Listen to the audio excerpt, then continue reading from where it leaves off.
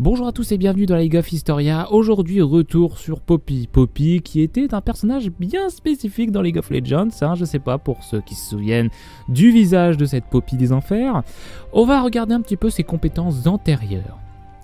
On commence par son passif, donc vaillant combattant. Alors excusez-moi, c'est de la traduction, j'ai pas réussi à retrouver ni de spotlight officiel, puisque je crois qu'il n'y en avait pas, ni de bah, d'anciens sorts, enfin j'ai pas retrouvé en français, bref voilà.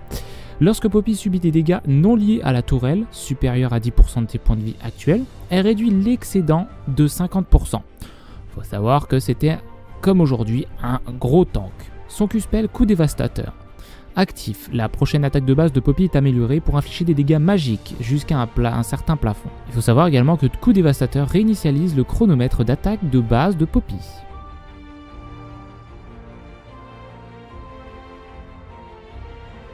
Son W Paragon de Demacia. Euh, passif. Poppy gagne des bonus de dégâts d'attaque et des bonus d'armure pendant 5 secondes à chaque fois qu'elle inflige ou subit des dégâts, cumulables jusqu'à 10 fois. Poppy gagne son maximum de stack, donc celui qu'on a vu dans le passif, d'un coup pendant 5 secondes et également un petit bonus de vitesse de déplacement, comme euh, celui d'aujourd'hui.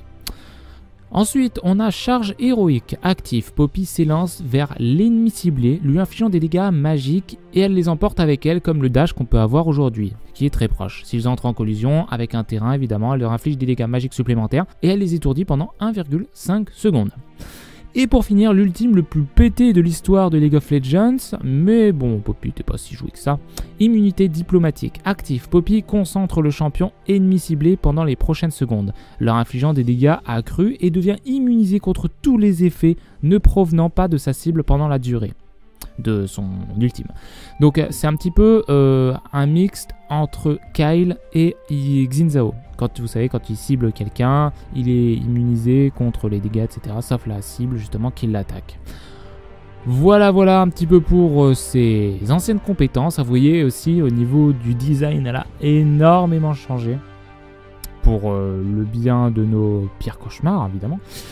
Voilà, n'hésitez pas à mettre dans les commentaires les prochains champions que vous voudriez revoir. J'en ai noté quelques autres également que je vous dis pas, hein, ce sera la surprise. On se retrouve très vite dans les of Historia. Salut